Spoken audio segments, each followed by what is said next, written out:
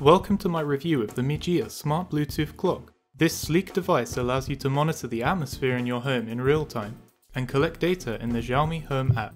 It looks great and fits right into any home with a small profile and clear display.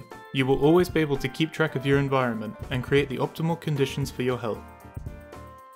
The device comes in slim packaging in the Mijia format, simple and elegant with a pull tab for easy access to the device.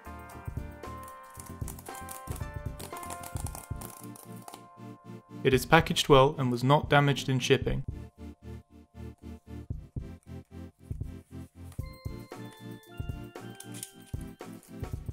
We are first presented with the clock face wrapped in protective plastic with the instruction booklet placed neatly behind.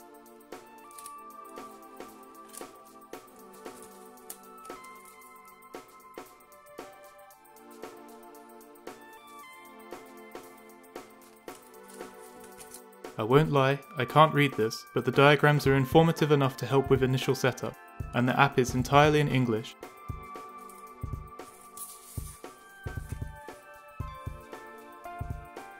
The only other contents of the box are the three mounting options located in the side flap. There is a stand, a magnet, and a sticker to choose between, depending on how you want to display or place the clock. These are extra useful for mounting the clock on different surfaces, like fridges, walls, or desks.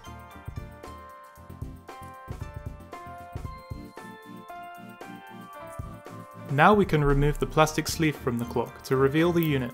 It is nice and shiny grey from the front, and a clean white from the sides and back.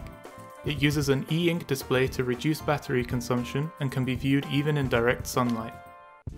There is a pull tab for the batteries to start the clock, which just needs to be removed from the back of the clock. Then the display will start up and begin showing the sensor information and time, which will have to be set from the app. Here is the back panel for the different mounting options for the clock. I chose the stand as it allows the most versatility on positioning the clock, but you might opt for the magnet to mount a sensor on the fridge or the sticker to permanently mount the sensor in a high position in your room. The cover is removed and the stand lines up with the back of the clock, and with a little force is secured in place.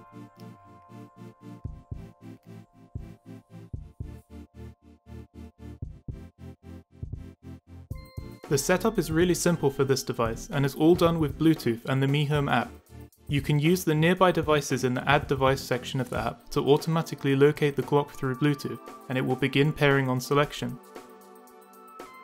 Keeping the phone and clock close together ensures quick and easy setup without the chance of losing the connection.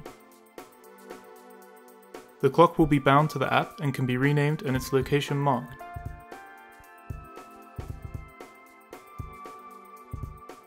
Then it will start sending information from the sensors to the app, and the clock will be set to the local time. So now the information that is collected will be shared with the app and a graph is created.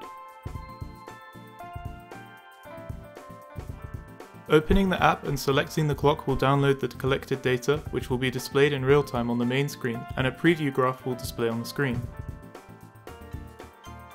When you open the history section, the data will be displayed to show up to the last 6 months of statistics in graphs, so you can see the fluctuations in temperature and humidity in the home.